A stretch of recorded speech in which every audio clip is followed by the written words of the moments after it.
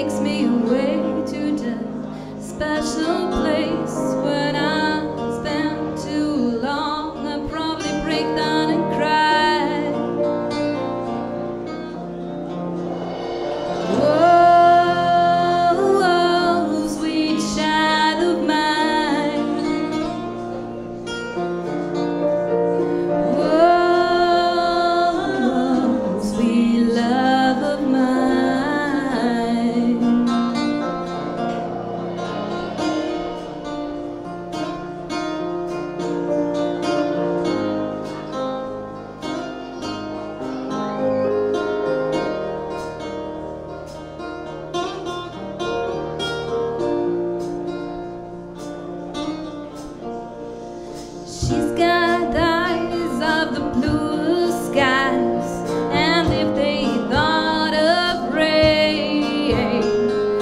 hate to